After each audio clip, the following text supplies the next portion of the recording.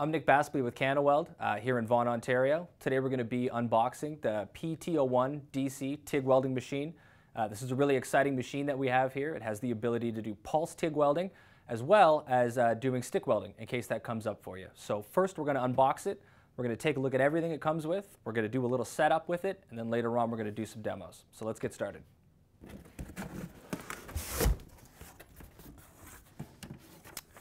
First thing you want to do when you do the unbox is pull out your user manual and flip directly to your safety section. You want to go over the safety stuff and you want to make sure that you're protecting the environment around you, protecting yourself, and protecting other people uh, from any harmful fumes, from the bright light, or from fire itself.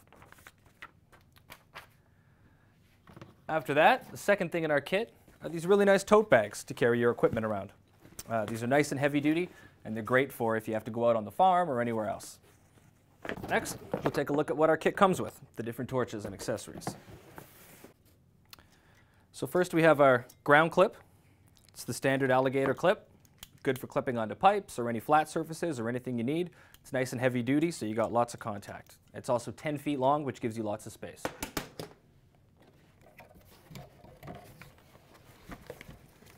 Next, we have our 12-foot TIG welding torch. These are really nice torches.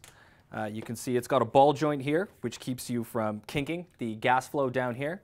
And it also has a swivel head up here, which is really nice in case you have to get into a tight joint or anything like that. You don't have to bend your wrist to accommodate the angle you need. You can just bend the machine like this.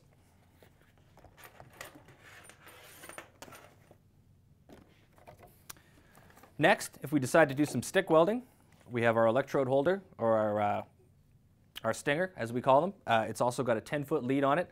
And it's the nice light cable, which is really great for when you're welding out of position, maybe overhead. Uh, you don't have to that extra weight of the cable pulling down on your arms and making you tired while you're working. And then lastly, we have our gas connector hose. These are nice. They've got the quick connect feature on the back so you can snap it right into your machine. You don't have to carry around a crescent wrench with you and you don't have to worry about rounding off the nuts slowly over time. It's a nice way to just click in really fast and get to work.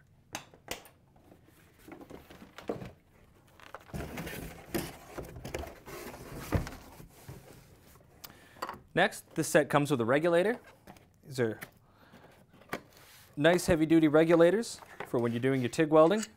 They're made out of brass and uh, you clip it onto the bottle here and then you connect the machine into here and you use the set screw that goes into the front to control the flow of your gas for the various processes. Now we'll take a look at the machine itself. Now, this is a 200 amp machine, and at 160 amps, it's got a 100% duty cycle. Like I said before, it's got the pulse TIG welding feature, which is really nice. It takes a lot of the hard work um, out of making a really nice weld, um, and you can also stick weld with it. Uh, the pulse welding feature is really great because it saves a lot of time when you're welding. It allows you to travel faster and you put less heat and distortion into the metal. So say you had to weld around a hole or a cutout or something like that, you can flick it into pulse and you can go around it and you don't have to worry about distorting all of the edges. It's a nice little feature that allows you to get a really nice finish without maybe having as much training as someone else who's got a lot more experience. Uh, and you can do that without sacrificing any of the penetration or strength that's involved. So first, let's set up the TIG stuff and let's take a look at that. So first, we'll put in our ground clip. That just clicks right in like that, the nice quick connect style. Now we'll set up our torch.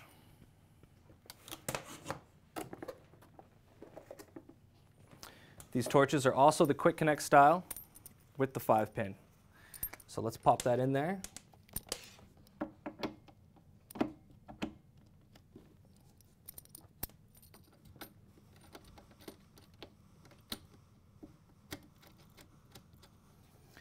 And then we'll connect the gas right here.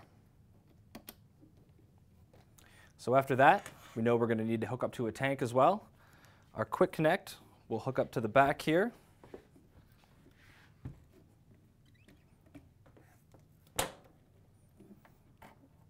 And we can plug it in just like that. And there you go. It takes less than a minute or two to set everything up, and now you're ready to TIG weld out there in the field. So now let's show you how to set it up for stick welding. We can remove this because we won't be using the gas. It's nice to have that stick welding feature because uh, sometimes you might not want to be able to bring a bottle out there with you or lug around the weight. And it's nice to be able to just throw an electrode in and go out and fix something on the farm or when you're contracting or wherever else. So let's go ahead and disconnect our TIG torch first.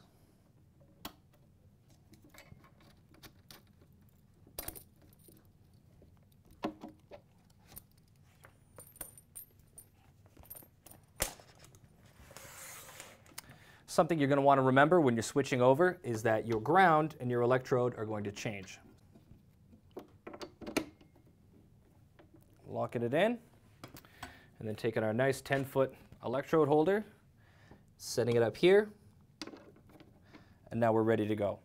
These connections are really great because you're able to go in and out really fast, and as you can see, these are the larger style ones, so they tend to dissipate heat more, but they'll also accept the full size cables. So if you already have a welding setup, you can quickly take the cables off your larger machine and go right to this without having to purchase other smaller cables. It's really nice to have that ability because it saves you lugging around all that weight and spending all that money uh, on extra cables, extra grounds, and all that sort of stuff. So now we're ready to demo this machine. We're going to check out its TIG welding DC capabilities. Uh, we're going to get some nice 1 8 pieces of mild steel. We're going to set them up in some T-joints, and we're going to TIG weld them and see how they look. And then after that, we're going to use the stick welding function, and we got some bigger pieces of quarter inch mild steel. Same thing, we're going to do some T-joints and see how they look. I can't wait to see the results.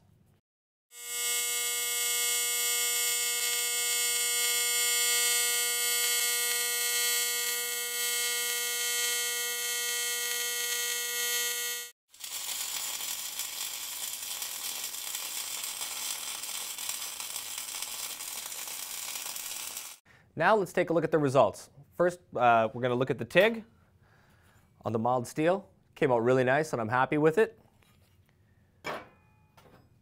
And then our arc welds that were much fatter came out really nice too. I'm really pleased with these results. So that is our TIG welding uh, DC pulse machine. Thank you very much for watching. Uh, have a lot of fun out there. Keep welding safe. I'm Nick Paspley. Thank you.